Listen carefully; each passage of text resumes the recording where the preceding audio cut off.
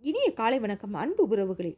யார் சொல்லியிருந்தாலும் எங்கு படித்திருந்தாலும் நானே சொன்னாலும் உனது புத்திக்கும் பொது அறிவுக்கும் பொருந்தாத எதையும் நம்பாதே என்ற பெரியாரின் முற்போக்கான வரிகளுடன் இன்றைய நாள் இனிதே உங்களுக்கு தொடங்கட்டும்.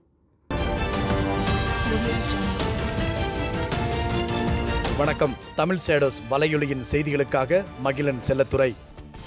குவைத்தில் பணிபுரியும் தொழிலாளர்கள் காலை பதினோரு மணி முதல் மாலை நான்கு மணி வரை வேலை செய்ய தடை விதிக்கப்பட்டுள்ளது.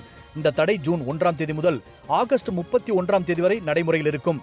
ஏனெனில் மூன்று மாதங்கள் வெப்பமான காலமாகும். அந்த நேரத்தில் ஊழியர்கள் பணியாற்றுவதை தடை செய்கின்றனர்.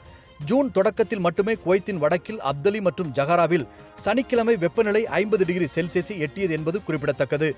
தடை விதித்த ஒரு வாரத்திற்குள் சுமார் அறுபத்தி ஆறு புகார்கள் பதிவு செய்யப்பட்டுள்ளதாக குவைத் மனித உரிமைகள் ஆணையம் தெரிவித்துள்ளது.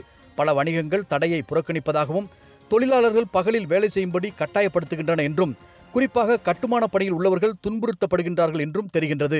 தூய்மை பணியாளர்கள் முதல் இருசக்கர வாகனங்களில் சென்று விநியோகம் செய்யும் ஆண்கள் வரை அனைத்து தொழிலாளர்களுக்கும் இந்த தடை பொருந்தும் என்பது குறிப்பிடத்தக்கது. தெற்கு பாகிஸ்தானில் அமைந்துள்ள தர்க்கி நகர் அருகே இரண்டு ரயில்கள் நேருக்கு நேர் மோதி மிகப்பெரிய விபத்து ஏற்பட்டுள்ளது. இந்த விபத்தில் குறைந்தபட்சம் முப்பது பேர் கொல்லப்பட்டிருக்கலாம் என முதல்கட்ட தகவல்கள் வெளியாகியுள்ளது. மேலும் ஐம்பதுக்கும் மேற்பட்டோர் காயமடைந்துள்ளதாக அதிகாரிகள் தெரிவித்துள்ளனர். வடக்கு சிந்து மாகாணத்தில் இன்று அதிகாலை நடந்த இந்த விபத்தில் சிக்கியுள்ளவர்களை மீட்கும் பணிகள் தொடர்ந்து நடைபெற்று வருகின்றது. இந்த கொடூர விபத்தில் ஆறு ரயில் பெட்டிகள் முற்றிலும் சேதமடைந்துள்ளது. மேலும் விபத்து மிகவும் மோசமான பாதிப்புகளை ஏற்படுத்தியுள்ளதால் உயிரிழந்தவர்களின் எண்ணிக்கை அதிகரிக்கக்கூடும் என அஞ்சப்படுகின்றது.